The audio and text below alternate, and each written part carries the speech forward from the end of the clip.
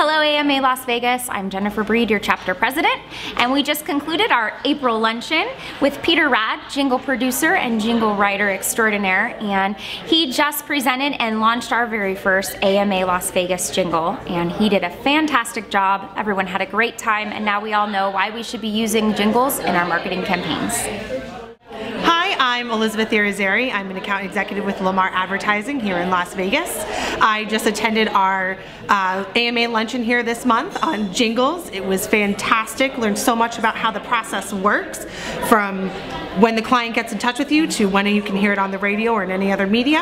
Um, and then we got to hear our president Jen work on our AMA jingle, which was fantastic. Can't wait to hear it out in the public as well. Um, as always, looking forward to going to our lunch, next luncheon. If you missed out on this one, you're definitely not going to want to miss the next uh, in May at the Thomas and Mack Center. So I hope to see all of you there.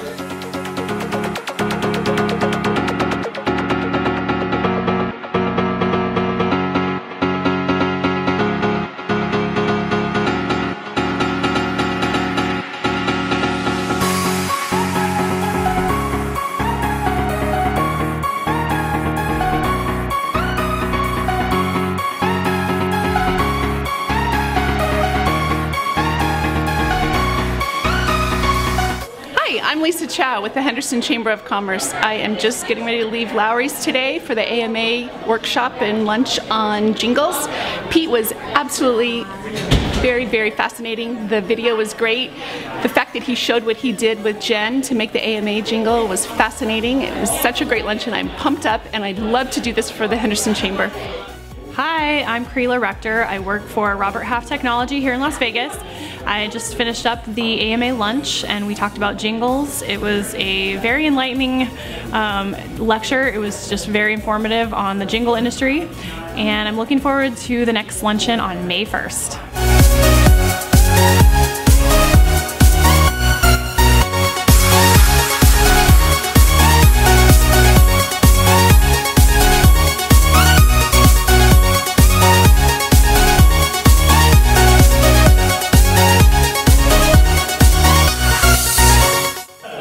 Pete Rad. I spoke today at the AMA luncheon. We talked about jingles and music imaging and what it can do for customers and their advertising campaigns. I hope you will attend next month's luncheon. It's going to be a good one.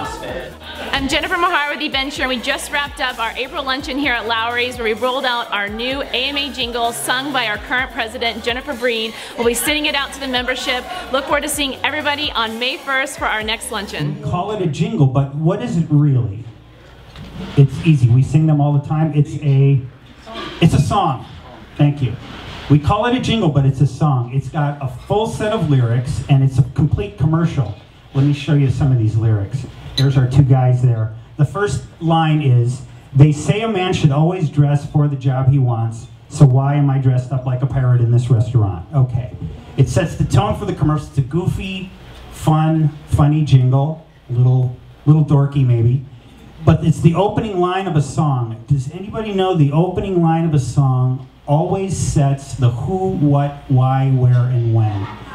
Every pop song. It's five o'clock on a Saturday. The usual crowd rushes in. So it's a, that's a song about a bar. It's a little bit funny, this feeling inside, Elton John. So I'm going to tell you about my feelings. So the song's about me. I'm going to tell you about my feelings. Uh, all pop songs are like this.